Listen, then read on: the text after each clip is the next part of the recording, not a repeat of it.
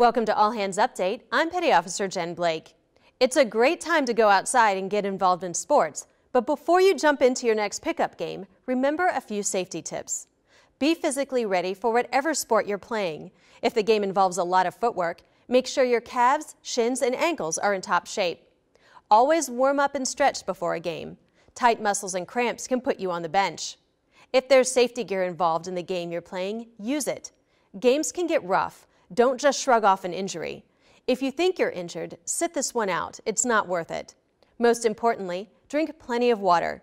Keep yourself hydrated so you can play to the best of your ability and don't fall out of the game. When you're out on the field, track, or court this summer, remember to play smart and stay safe.